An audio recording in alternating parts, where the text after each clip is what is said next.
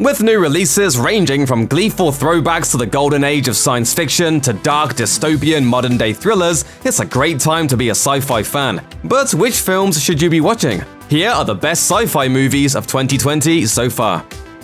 Extraterrestrial period piece The Vast of Night was made of a fraction of the budget allocated to some of 2020's best science fiction movies, but you wouldn't necessarily know it by watching it. The film follows switchboard operator Faye and radio DJ Everett, two young adults in the 1950s who set out to investigate the source of a strange frequency they're both picking up during a quiet night at work in a small town.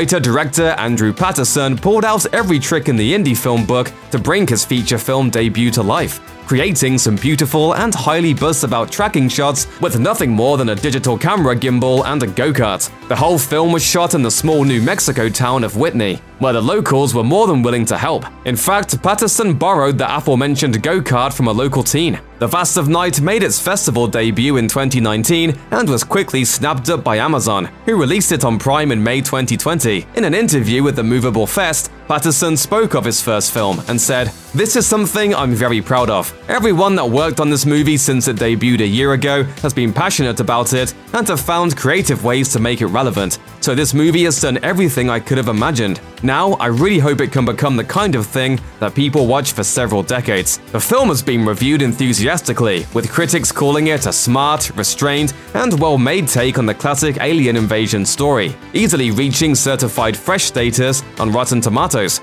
If you're in the mood for a short and sweet movie that draws you in with its atmosphere and craftsmanship, instead of just trying to dazzle you with special effects, The Vast of Night is definitely worth your time. Parasite star Choi Woo-shik plays one of four desperate young men that pull off a daring heist in the South Korean sci-fi action thriller Time to Hunt. The film premiered at the Berlin International Film Festival in February 2020, becoming the first Korean picture to be shown in the festival's special gala section. The premiere was followed up with a wide release on Netflix a few months later. Set in a future version of South Korea crippled by a financial crash, Director Yoon Sung-hyun's dystopian thriller follows the four protagonists as they try to disappear after sticking up the patrons of an illegal gambling den. Things rapidly descend into violence when a merciless assassin comes after the boys, hell-bent on retrieving the cash and CCTV hard drives they stole. Speaking to the Korea Times, Yoon revealed that the film's grim setting was actually inspired by a trip to the Americas, saying, I remember being shocked by the hyperinflation in South America by buying a soft drink at a store. I got a glimpse of slums in the US, which allowed me to portray streets full of graffiti in the film. Despite all those real-life influences, the final product is distinctly South Korean. However, Time to Hunt is sleek and well shot from start to finish, and the stylized action never lets up, something the Hollywood trades appreciated. Variety said in its review of the film, once the protagonist's plan goes into action, it hardly ever decelerates. And the Hollywood Reporter called Time to Hunt a tour de force exercise in non-stop tension. Irish director Lorcan Finnegan's sophomore feature film Vivarium plays on what research suggests is a very real fear for millennial couples settling down and having kids. When Tom and his girlfriend Gemma decide to buy their first home, they visit a real estate agent who tells them about Yonder, a new suburban development. The couple decides that living among rows of identical houses isn't for them long before the creepy agent vanishes, and when they try to leave, they discover that every road leads back to the house he showed them. Number 9 again. Did we just do some kind of? Things go from weird to weirder when a mysterious baby turns up on their doorstep, along with a note that says the couple won't be released from the bizarre home until they've raised the child. Jesse Eisenberg and Imogen Poots were both roundly praised for their performances in the film, which debuted at Cannes and was released in March 2020. At the time, vast swaths of people were isolating in their homes due to the COVID-19 pandemic, and Finnegan has admitted that there are definitely some, quote, weird parallels with his movie. He told Vulture, Sometimes I think films are a bit like, they pop at us as if there's a network between all of humanity. Like there's a subconscious thread that's connecting everything, and films are just a manifestation of these sorts of anxieties that everybody has. The critics couldn't help but take the timing of the release into account in their reviews, with vague visages calling Vivarium, quote, the ideal isolation horror. A 2020 sci-fi film that took on new meaning during the pandemic, Neasa Hardiman's critically acclaimed feature-length debut Sea Fever follows a marine biology student who buys her way onto a fishing trawler so she can conduct research into faunal behavioral patterns. Hermione Corfield Siobhan doesn't fit in with the vessel's hardy crew, led by Dougray Scott's Captain Jared, but they turn to the knowledgeable redhead when mysterious holes appear in the boat's hull. As she's the only one with diving gear, Siobhan goes below to check the course and discovers a gigantic organism with tendril-like appendages, though it's the parasites the squid-like creature releases into the water supply that pose a real threat. Straight through the steel. Sea Fever is essentially Alien on the open water. Hardiman pays homage to the film's director Ridley Scott, with some squirm-inducing body horror, and she creates the same kind of claustrophobic tension that made Alien so enthralling. If you've got a thing about eyeballs, maybe swerve this one. The director told Quiet Earth that their boat was positioned, quote, days away from shore during the shoot, creating a genuine sense of isolation among the cast, she explained. It's really disturbing being on the boat because it leads to a kind of collective agoraphobia. There you are on top of one of the least understood biospheres on planet Earth. We know more about the surface of the moon than we do about the deep ocean. Spanish sci-fi thriller The Platform takes place inside a so-called vertical self-management center, a tower-like structure that houses hundreds of inmates. Every day, a platform filled with enough food and drink for everyone descends from the top level, though many routinely go hungry. See, the residents are allowed to consume as much as they like, meaning those near the bottom get scraps if they're lucky. Debuting director Galder Gaztelu Urrutia told The Guardian, it's an allegory about the distribution of wealth, which is a universal debate and a debate that's been going on for as long as people have been around. The point of the platform is that it isn't about a war between those above and those below. We all have someone above us and someone below us. The film follows Goreng, who's duped into volunteering for a six-month stint in the tower in exchange for a diploma. Being periodically moved from level to level, he sees the conditions on the lower levels with his own eyes and decides to take matters into his own hands. When Goreng is assigned to level 6, he convinces his cellmate Baharat to ride the platform down with him, distributing rationed portions of food as they go. The platform's ambiguous ending didn't turn off the critics, who overwhelmingly enjoyed it. The New York Times raved, a gnarly mashup of midnight movie and social commentary with genre jolts and broad messaging in equal measure.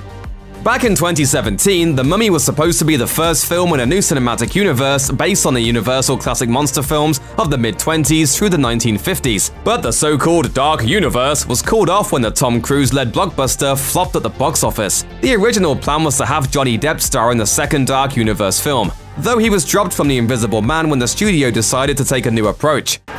Not sure I deserve that. Saw's Leigh Whannell was brought in to direct, and he was given the freedom to make a film that didn't have to include any links to future franchise installments. The result was a thrilling, standalone sci-fi horror flick that blew the critics away. Whannell's remake stars Elisabeth Moss as Cecilia Kass, a woman who believes she's being stalked by her controlling and violent ex, despite the fact that he killed himself after she escaped from him. This is what he wants. This is what he used to do when we were together. He wants you to think that I did it. This is what he does. Cecilia's paranoia leads her back to the huge house that she shared with loaded optics engineer Adrian Griffin, where her mounting suspicions are confirmed when she discovers one of Adrian's invisibility suits. Before Cecilia can prove her story, however, her invisible tormentor gets incredibly violent, forcing her to fight for her life. Moss delivers a typically committed performance, and she helped out of camera too. Whannell told Gizmodo, Elisabeth Moss was my greatest asset and greatest ally. The amount of collaboration that we had, she really became a co-writer in a sense. Sonic the Hedgehog looks set to join the long list of terrible video game adaptations when the first trailer dropped and fans reacted to the titular character's design with a mixture of disappointment and horror. Sonic looked far too realistic, making him appear more creepy than cheeky. Twitter took aim at the VFX team's bizarre choices, with Sonic's human-like teeth being the biggest offender. But in an unexpected move that ultimately paid off, Paramount agreed to a complete redesign of the eponymous Blue Hedgehog. The end result was a charming and entertaining family film that imagines Sonic as an alien who comes to Earth to hide from those seeking to exploit his super speed. It didn't do much for the average critic, but it was a real hit among Sonic fans. Director Jeff Fowler's movie wound up with a lukewarm rating on the tomato meter, but audience reviewers enjoyed watching Sonic and James Marsden Sheriff Tom Wachowski take on Jim Carrey in his element as the iconic Dr. Robotnik. One critic who did show some love for the film was The Guardian's Keith Stuart, who argued that video game movies aren't necessarily interested in critical acclaim, saying, They don't really function in the same way as other big commercial tie-ins. They are multi-layered in a semiotic, rather than emotional or thematic sense. They are fan service, but in a good way.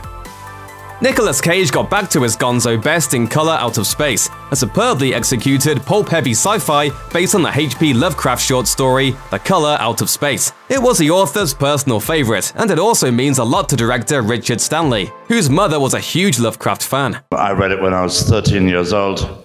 My mum introduced me to Lovecraft, who was my mother's favorite author. So when the chance to direct a big screen adaptation came, Stanley decided to get back in the game, and his return was a critical success. Color Out of Space follows farmer Nathan Gardner and his family, who are thrown into a purple-tinged nightmare after a meteorite that's harboring an extraterrestrial organism lands on their property. A strange alien color spreads across their farmland, causing the animals to mutate and turning the plants sentient. It's a mind-bending experience that only Stanley could have pulled off, according to Cage, who told Slash Film, of all the filmmakers I could imagine doing this and getting close to creating an alien color, it would be Richard.